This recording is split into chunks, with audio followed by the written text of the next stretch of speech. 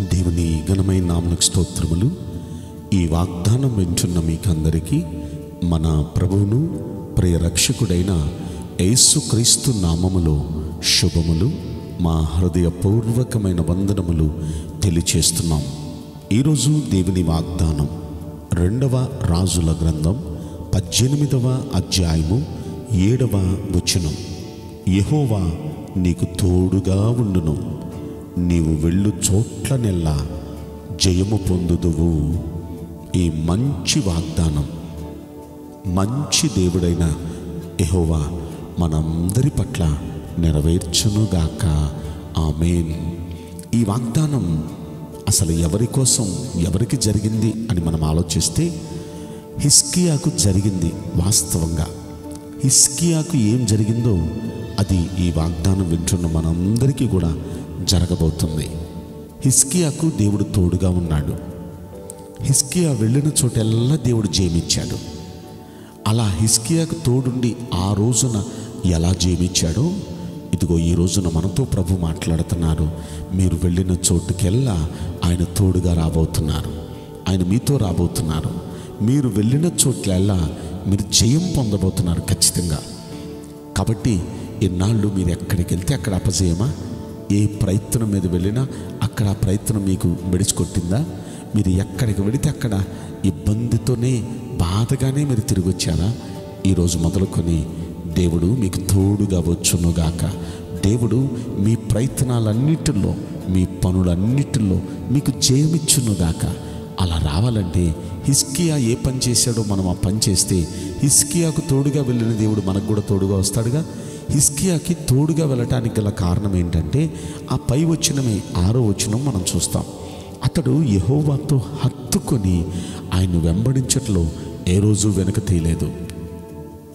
దేవుణ్ణి వెంబడిస్తున్నాడు వెంబడిస్తున్నాడు. ఎలాగో చెప్పిన? హత్తుకొని వెంబడిస్తున్నాడు. ఏదో కుదిరినప్పుడు కుదిరినట్టు కుదరినప్పుడు ఏదో పర్లేదే కుదరినట్టు. అలా కాదు. దేవుణ్ణి వెంబడించడం ప్రారంభించాడు. ఇక ఆయనకి కష్టమైన ఇబ్బంది అయినా ప్రమాదమైన ఎలాంటి పరిస్థితులు గుండా వెళ్ళాల్సి వచ్చినా దేవుణ్ణి మాత్రం ఏ రోజూ విడిచిపెట్టలేదు.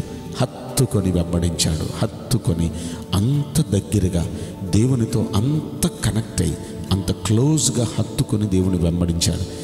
ఈయన దేవుణ్ణి విడిచిపెట్టడం లేదు కాబట్టి దేవుడు కూడా ఆయన విడిచిపెట్టడం లేదు. మనం ఏంటంటే మనకు కొన్ని సరదాల కోసం దేవుణ్ణి మనం విడిచిపెడతాం ఒక్కొక్కసారి. మనం కొన్ని సంతోషాల కోసం కొన్ని సీరియల్ చూడాలని లేకపోతే ఇంకేదో సినిమా చూడాలని లేకపోతే ఇంకేదో ఇంకేదో అనుభవించాలని వాటి కోసం ఏసైని కాస్త మనం విడిచిపెడతాం దూరం పెడతాం. అయితే ఆయన అలా ఎప్పుడు దూరం పెట్టలేదు. అలా ఎప్పుడు ఈయన ఏసైను దూరం పెట్టలేదు కాబట్టి ఏసై కూడా ఆయనకి దూరంగా లేడు. ఎప్పుడు ఆయనకి తోడుగా ఉన్నాడు. దేవుడు ఆయనకి తోడుగా ఉన్నాడు కాబట్టి ఎప్పుడు ఎక్కడికి వెళ్ళినా చేయమేనండి. దేవుడు ఆయనకు తోడుగా ఉండటానికి రెండవ కారణం ఏంటి? దేవుడు ఏమేమైతే ఆజ్ఞలు ఆజ్ఞాపించాడో ఆజ్ఞలన్నిటినీ అతడు అనుసరించి నడుస్తున్నాడు. దేవుడు ఆజ్ఞాపించిన ఆజ్ఞలను మనం అనుసరించి నడిస్తే ఖచ్చితంగా దేవుడు మనకు కూడా తోడుగా వస్తాడండి. మనకి తోడుగొచ్చి మనల్ని ఆశీర్వదిస్తాడు. ద్వితీయోపదేశకాండంలో ఇరవై ఎనిమిదో అధ్యాయంలో మనం చూస్తాం కదా నీవు నీ దేవుడైన యహోవా మాట శ్రద్ధగా విని నేడు నేను నీకు ఆజ్ఞాపించు ఆజ్ఞలన్నిటినీ అనుసరించి నడిస్తే ఈ దీవెనలన్నీ నీ మీదకి వచ్చి నీకు ప్రాప్తిస్తాయి అని ఎక్కడికి వెళ్తే అక్కడ దీవెనే. పొలంలోకి వెళితే పొలంలో దీవెన పట్టణంలోకి వెళితే పట్టణంలో దీవెన ఇంటిలో దీవెన ఎక్కడికి వెళ్తే అక్కడ దీవెనే. అంటే ఎందుకంటే ఎక్కడికి వెళ్తే అక్కడ దీవెన? వెళ్ళిన చోటెల్లా దేవుడు మనకు తోడుగా వస్తున్నాడు. దేవుని వాక్యాన్ని మనం అనుసరించి నడిస్తే దేవుడు మనకు తోడుగా వస్తాడు.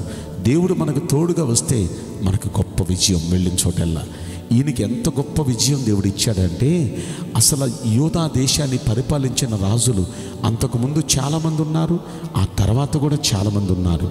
కానీ ఈయనలాగా హండ్రెడ్ పర్సెంట్ సక్సెస్ వచ్చిన వాడు ఎవ్వరూ లేరంట. ఎప్పుడు చేయమే ఓటమంటూ తనకు తెలియదు.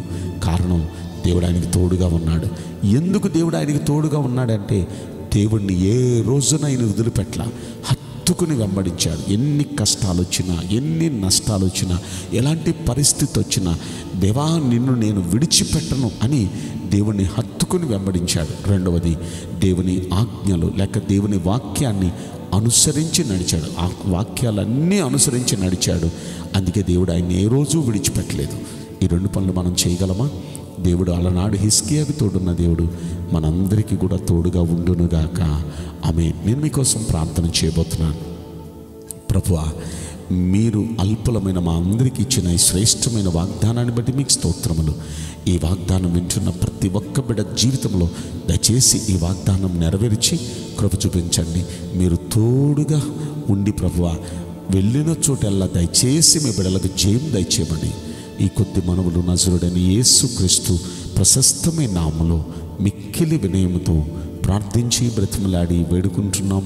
ప్రియ పరలోకు తండ్రి amen may God bless you all thank you